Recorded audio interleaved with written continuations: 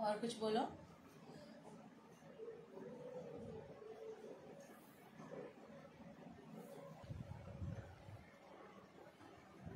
Thailand hi is it hot in Thailand और cool how is the climate मैंने अभी आ, सीधे तरीके से लिफ्ट भी नहीं लगाया। दनादन ऐसा रगड़ के आ गई। आ, इतना टाइम भी नहीं था मेरे पास तो। क्या कर रहे हो? मेरे लिए वेट नहीं करे ना। मेरे को पता है। हो जाती है ऐसी कभी कभी